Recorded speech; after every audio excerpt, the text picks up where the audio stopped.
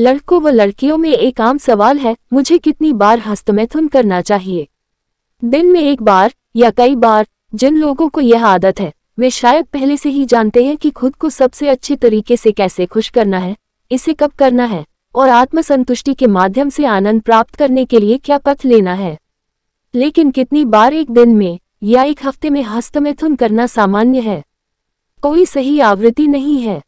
जिस समय आपको लगता है कि आप हस्तमैथुन कर सकते हैं, यह एक पूरी तरह से स्वस्थ अभ्यास है जिससे कोई समस्या नहीं होती है, चाहे आप हर दिन हित करें या नहीं। यह आप पर निर्भर करेगा, सप्ताह में तीन से चार बार ठीक है।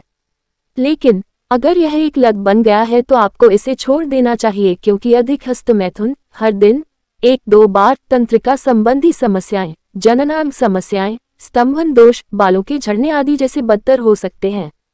हस्तमैथुन की आवृत्ति व्यक्तियों के बीच भिन्न होती है, ऐसी ही रोमांचक जानकारी पाने के लिए हमारे वीडियो को लाइक करें, बेल आइकन को प्रेस करें और यूट्यूब चैनल को सब्सक्राइब करें।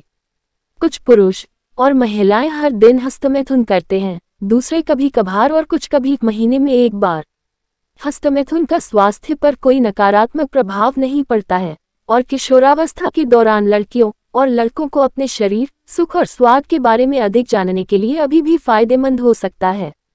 एक युवा एक दिन में कई बार हस्तमैथुन कर सकता है, और यह इस अवधि के दौरान है कि वह अपने शरीर और कामुकता का पता लगाता है। ये वह अवधि है जिसके दौरान हस्तमैथुन की आवृत्ति आमतौर पर सबसे तीव्र होती है।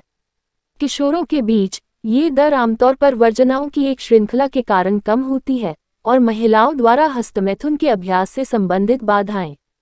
ये पुष्टि करना आवश्यक है कि लड़कियों और महिलाओं द्वारा हस्तमैथुन का अभ्यास पूरी तरह से सामान्य और स्वस्थ है।